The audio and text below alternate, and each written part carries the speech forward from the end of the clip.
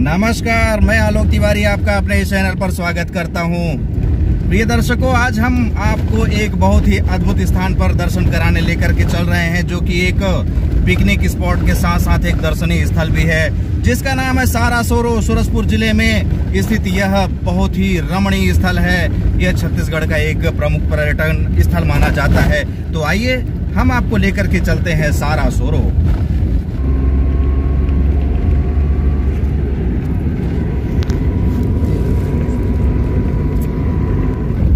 सारा जाने के लिए आपको छत्तीसगढ़ के एक जिला जो कि सूरजपुर ज़िले के नाम से जाना जाता है, जिला मुख्यालय से आपको सबसे पहले भैया थान आना होगा और भैया थान से प्रतापपुर रोड में जाना पड़ेगा। प्रतापपुर रोड पर जाते जाते आप सारा सोरो तक पहुँच जाएँगे, जो कि छत्तीसगढ़ की एक प्रमुख नदी, रिहंद नदी पर बना हुआ एक बहुत ही रमणीक स्थल है। आप सामने में देख रहे हैं ऊँची ऊँची पहाड़ियाँ, इन्हीं पहाड़ियों के मध्य से गुजरता हुआ यह रिहंद नदी एक अद्भुत नज़ारा लिए हुए आपके सामने प्रस्तुत है। तो आइए, इस स्थान पर हम चलते हैं। आपको दिखलाते हैं कि यह स्थान कितना रमणीक है। अब हम इस सफ़र पर चलते चलते अंततः सारा सोरो के निकट पहुँच चुके हैं और यह पार्किंग स्थल। यहाँ पर गाड़ी की पार्किंग करने के पश्चात हम चलेंगे। मंदिर की ओर, उस नदी की ओर। इस स्थल का महत्व इसलिए भी अधिक बढ़ जाता है कि भगवान श्री राम त्रेता युग में वनवास के समय इस स्थल पर आए हुए थे। उनका यहाँ पर मंदिर बना हुआ है। हम उसी मंदिर की ओर इन सीढ़ियों के माध्यम से चल रहे हैं और आपको प्रभु श्री राम का दर्शन कराते हैं। इन सीढ़ियों से आगे बढ़ते बढ़ते हम क्रमशः प्रभु श्री राम के मंदिर की ओर बढ़ते गए और यहाँ पर देख रहे हैं, अनेक श्रद्धालु प्रतिदिन आते हैं और हम अंततः प्रभु श्री राम के मंदिर तक पहुँच चुके थे, जो कि प्राचीन मंदिर दिखाई दे रहा है। यहाँ पहुँचते साथ प्रथम द्वार पर हमें काली जी की प्रतिमा स्थापित हुई दिखाई दी। बोलिए काली मैया की जय। प्रेम से बोलिए प्रभु श्री रामचंद्र की जय। आप प्रभु श्री राम के चरण कमल का दर्शन प्राप्त कर रहे हैं। तो अभी हम रिहंद नदी के बगल में भैया थान ब्लॉक के अंतर्गत सारा सोरो तक आ पहुँचे हैं और अभी हम वर्तमान में भगवान श्री राम के मंदिर में आ पहुँचे हैं। और यहाँ पर भगवान श्री राम का मंदिर कैसे बना, क्यों बना, उसके बारे में संपूर्ण जानकारी हम यहाँ के पुजारी जी से जानेंगे। तो पुजारी जी से हम यहाँ के बारे में जानते हैं। यहाँ भगवान राम क्यों आए कब आए कितने दिन रुके और यहाँ से कहा गए? तो पुजारी जी आपका नाम क्या है? नाम शतमधारी है। छतरधारी जी हैं। आप यहाँ पर भगवान का सेवा कब से कर रहे हैं? तो बहुत दिन होगी ग्यारह साल होगी। अच्छा आप 11 साल से भगवान का सेवा कर रहे हैं। तो यहाँ के बारे में क्या जानकारी है? आपके पास भगवान राम क्यों आए थे यहाँ पर? कब आए थे? ये भगवान रामचंद्र जी तो हाँ त्रेता युग में आए रही यहाँ जो वनवास का समय है। जी जी। हाँ तो वो समय यहाँ भगवान रामचंद्र जी आए रही और यहाँ कुछ एक डेढ़ दिन यहाँ रहे लगे। अच्छा।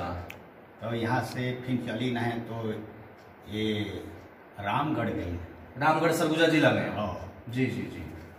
और वहाँ से अब वहें तो उनकर रामेगढ़ में अस्थाई हुई। जी। हाँ। तो यहाँ पर मतलब आपके कहना है कि यहाँ पर डेढ़ दिन रहे थे। हाँ। और डेढ़ दिन के बाद यहाँ से चले गए थे। हाँ। तो यहाँ पर रुकने के बाद यहाँ पर उनका मंदिर बनाया गया। हाँ। और आप लोग भगवान राम का पूजा कर रहे हैं उनकी सेवा कर रहे हैं। हाँ। हाँ ये बहुत पुरातन से ये जगह सारा शुरू बनी से अब इतनी का नाम सारा शुरू है। अच्छा अच्छा। हाँ, बहुत सदयुगे से अब यह बहुत अथाह गहरा है। अच्छा। सदयुगे से यहाँ पूजा पाठ यहाँ माता सतलोकी कर कृपा से माता सत्रलोकी हाँ सतलोकी माता का। जी जी। पहले सब सदयुगे से यहाँ उनकरे मान्यता से पूजा पाठ होत रही। हाँ।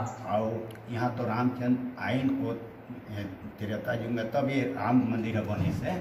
तो सतलोकी माता का मंदिर कहाँ पर है? हमको नीचे है। नीचे जो दुर्गा जी का मंदिर बना हुआ हाँ, है। यहाँ नव दुर्गा हाँ नव दुर्गा। हाँ। वही है सतलोकी माता? हाँ। अच्छा अच्छा। हाँ, माता। तो यहाँ पर देखने से तो बहुत गहरा दिख रहा है। इनकी गहराई कितनी होगी नदी का? ये बहुत अथाह गहरा है। अच्छा मतलब उसको नापे नहीं है अभी तक? हाँ कोई पता नहीं लगा ऐसा किसे ला शासन भी यहाँ ये ला बांधे करत नहीं अच्छा अच्छा। लेकिन वो भी आए कि यहाँ सब मशीन उशीन लगा दे रही लेकिन सब था ही नहीं लगी।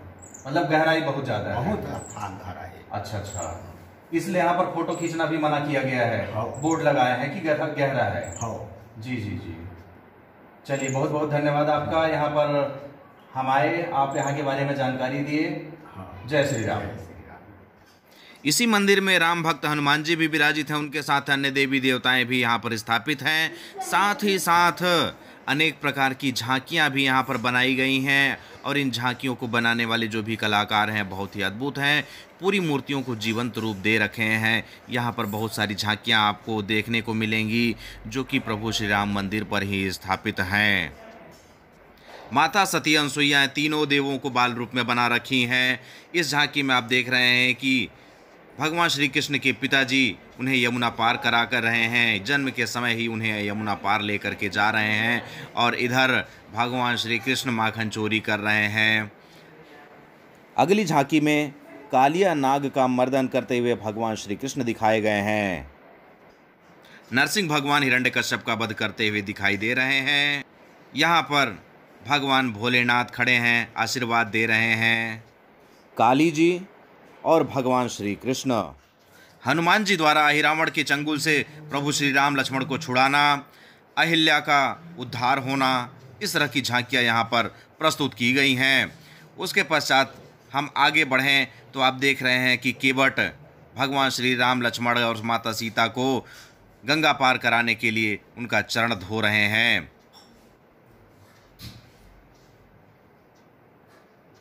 इस झांकी में यह दिखाया गया है कि प्रभु श्री राम अपने गुरु का आदेश मानकर ताड़का का वध कर रहे हैं। इस तरह से इस स्थान के बारे में, सारा सोरों के बारे में, पुजारी जी से आपने सुना, इस जगह के महत्व के बारे में जाना। अब हम यहाँ पर कुछ यात्रियों के माध्यम से भी जानते हैं, कुछ दर्शनार्थियों के माध्यम से, कुछ पर्यटकों के माध्यम से भी जानते हैं कि वे इस स्थान पर क्यों आते हैं, उनकी क्या आस्था है और यहाँ पर आके उन्हें कैसा महसूस होता है। तो आइए चलते हैं कुछ यात्रियों के पास अब। नमस्कार, मैं कमलेश शर्मा, छत्तीसगढ़ ग्राम कटघोरा जिला कोरबा का रहने वाला हूँ। बहुत दिनों से मैंने श्री राम पग के द्वार का सुना था, जहाँ मैं ग्राम सारासोर आया हूँ। मैंने देखा कि यहाँ प्रकृति से भरा मनोरम दृश्य है, जिसको देखकर मन गदगद हो गया है। श्री राम जी का बहुत पुराना मंदिर है, जिसका दर्शन मैंने किया। मैं चाहता हूँ आप सभी भी यहाँ आएँ और यहाँ का दर्शन करें, यहाँ का मनोरम दृश्य का आप लोग घूम कर देखें। यहाँ का दृश्य बहुत ही मनोरम है, पिकनिक स्पॉट है, बहुत ही अच्छा जगह है। मैं चाहता हूँ आप भी आएँ यहाँ पिकनिक मनाने के लिए और यहाँ का जगह का आनंद उठाएँ। अब हम माता सत्यलोकी देवी के मंदिर में पहुँच चुके हैं, जिसके बारे में अभी पुजारी जी जानकारी दे रहे थे। इस मंदिर में माता दुर्गा अपने सभी नौ रूपों के साथ विराजित हैं। जैसा कि पुजारी जी ने बताया कि माता सत्यलोकी यहाँ पर सतयुग से ही प्रतिष्ठित हैं, पूजित हैं, स्थापित हैं। लोग यहाँ पर श्रद्धापूर्वक माता सत्यलोकी की नौ दुर्गा रूप में पूजन करते हैं। माता सत्यलोकी मंदिर से ही हम बगल में नज़र घुमाए तो एक मंदिर, जो कि नदी के बीचों बीच एक टापू पर बना हुआ बहुत ही अद्भुत मंदिर दिखाई दिया, उधर हम चल पड़े। नमस्कार, मैं राम सुशील पांडे, ग्राम रनई का निवासी हूँ। और सारा सुरों के बारे में कई बार सुना, कई बार लोगों से चर्चा सुना। इसके बाद मैं मैं भी पहली बार आया। यहाँ देखा, बहुत अच्छा सुहावना सा जगह है। भगवान श्री राम जी वनवास के समय यहाँ आए हुए थे। अब यहाँ पर उनका मूर्ति है और पग के निशान भी है। इसे देखे तो बहुत मन खुश हुआ और चाहता हूँ कि सारे लोग इधर आएँ और देखें। और यहाँ पिकनिक का भी एक अच्छा स्थल है। मंदिरें भी हैं, झरना भी हैं। यह मंदिर इस नदी के ठीक बीचों बीच एक टापू पर स्थित है। सभी तरफ़ से जलधाराएँ बह रही हैं और बीच में यह मंदिर स्थापित है और हम उस मंदिर की ओर दर्शन के लिए निकल पड़े। यहाँ नदी की गहराई अधिक होने की वजह से सेल्फी डेंजर जोन घोषित किया गया है और बोर्ड लगा दिया गया है कि आप यहाँ पर सेल्फी न लें, खतरा हो सकता है। तो आप यहाँ पर जब भी आएँ, अपने आप को सावधान रखते हुए यहाँ पर दर्शन करें। जब हम ऊपर मंदिर तक पहुँच चुके तो देखे, यहाँ पर दो मंदिर हैं। उसमें माता गंगा विराजित थीं। आगे बढ़े तो देख रहे हैं कि भगवान भोलेनाथ शिवलिंग के रूप में यहाँ पर अपने पूरे परिवार के साथ स्थापित हैं। यहाँ पर पहुँच करके भगवान भोलेनाथ की अनायासी भक्ति महिमा मन में जागृत होने लगी। हम भी भगवान भोलेनाथ का पूजन किए, अर्चन किए, उनसे आशीर्वाद प्राप्त किए। आप भी जब आइए यहाँ पर तो भगवान भोलेनाथ का आशीर्वाद अवश्य प्राप्त कीजिएगा। भगवान भोलेनाथ अपने भक्तों का इंतज़ार करते रहते हैं कि हमारे भक्त हमारे पास आएँ और हम उनसे मिलें। इस तरह से भगवान भोलेनाथ आपको आशीर्वाद देने के लिए वहाँ पर विराजित हैं। आप अवश्य आइएगा। इस मंदिर में जाकर के माता गंगा एवं भगवान भोलेनाथ का दर्शन, लाभ एवं आशीर्वाद प्राप्त हुआ। इस मंदिर में निरंतर भक्तों का आवागमन बना रहता है। लोग आते हैं, जाते हैं, माता गंगा और भगवान भोलेनाथ का आशीर्वाद प्राप्त करते हैं। मंदिर का दर्शन करने के पश्चात अब हम आपको लेकर के चलते हैं पिकनिक स्पॉट की ओर, जहाँ पर आप पिकनिक मना सकते हैं, खूब मस्ती कर सकते हैं। यहाँ पर रिहंद नदी अपनी पूरी चौड़ाई के साथ, अपने पूरे चौड़े पाट के साथ बह रही हैं, जहाँ की जलधारा बिल्कुल स्वच्छ दिखाई दे रही है। आप यहाँ पर पिकनिक मनाने भी आ सकते हैं।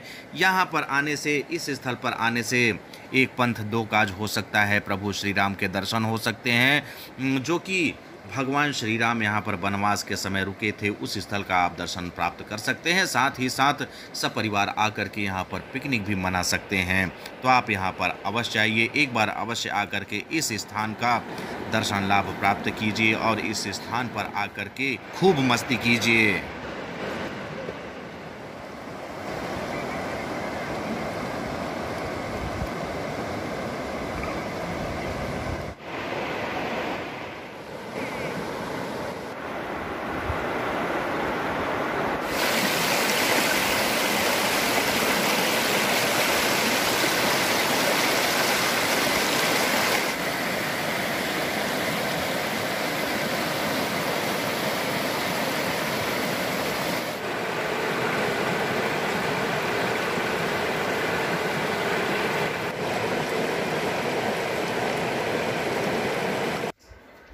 आप यहाँ पर जब भी आएँ तो जो पिकनिक स्पॉट बना है वहाँ पर तो खूब मस्ती करें। लेकिन जब आप मंदिर के समीप पहुँचेंगे तो सतलोकी माता मंदिर और भगवान भोलेनाथ का जो मंदिर बना हुआ है, वहाँ पर पानी बहुत गहरा है और उसे डेंजर जोन घोषित किया गया है। आप वहाँ पर बहुत ही सावधानीपूर्वक रहिएगा। आप देख रहे हैं, इन खाइयों को यहाँ पर कुछ भी हादसा हो सकता है, इसलिए यहाँ पर जब भी आप दर्शन के लिए आएँ तो सावधान रहें और अपने आप को सुरक्षित रखते हुए इस स्थान का अवलोकन करें, दर्शन करें और खूब मस्ती करते हुए अपने घर को प्रस्थान करें। इस तरह से इस वीडियो के माध्यम से आप छत्तीसगढ़ के सूरजपुर ज़िले में स्थित सारा सोरों का संपूर्ण दर्शन, संपूर्ण भ्रमण किए। यहाँ पर प्रभु श्री राम जी वनवास के समय आए थे, उसका भी आप दर्शन किए। अब मैं आपसे एक आग्रह करना चाहूँगा कि इस वीडियो को अधिक से अधिक लोगों तक पहुंचाइए, जिससे कि छत्तीसगढ़ के दर्शनीय स्थलों का भी प्रचार प्रसार हो सके। लोग यहाँ पर आएँ, दर्शन करें, दर्शन लाभ प्राप्त करें। और लोग यह भी जानें कि भगवान श्री राम वनवास के समय यहाँ पर आए हुए थे। अब मुझे आज्ञा दीजिए, मिलते हैं अगले किसी अच्छी जानकारी वाली वीडियो के साथ। तब तक के लिए जय हिंद, जय भारत। अलविदा, बाय बाय। बम बम भोलेनाथ की।